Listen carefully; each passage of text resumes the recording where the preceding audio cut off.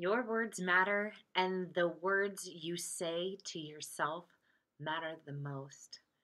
This I know to be true because I missed a mark this week. I missed a mark that I have set for myself. No one else has set this mark for me. This is something that I came up with, which was I am going to do this. What do you do about what do you do about dot dot dot Wednesday series and I have been on it. I have been dogged about it. I every Wednesday I do a video and sometimes people say stuff about it, sometimes people don't.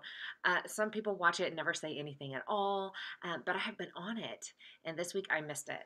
And I got up this morning and I'm like, I still haven't done it.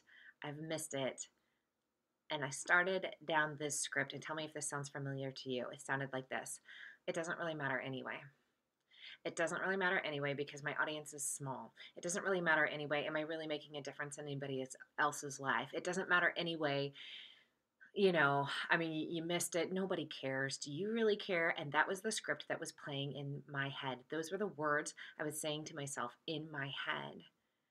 And I thought to myself, your words matter. I say this to people all the time. I need to hear it myself. I needed to hear it myself today. How you talk to yourself, how you deal with these moments matters. And I was talking to myself like I would never talk to someone else that I know. I would never talk to a client this way. I would never talk to a friend this way. Yes, my words matter. My message matters. And it I have a I have a friend Jen. If you don't know her, Jen Eads. You need to connect with her because she says you don't need an Oprah-sized audience to make a difference. And every time she says it, I hope she knows how much of a difference it makes for me, and how much of a reminder that is about what it is that we're doing and how it is that we impact other people.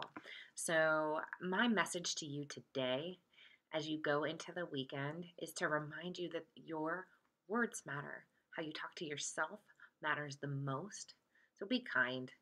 Use words and messages to yourself that you would share with somebody else because what you have to say does matter, and anything that gets in the way of that, especially you, is a problem.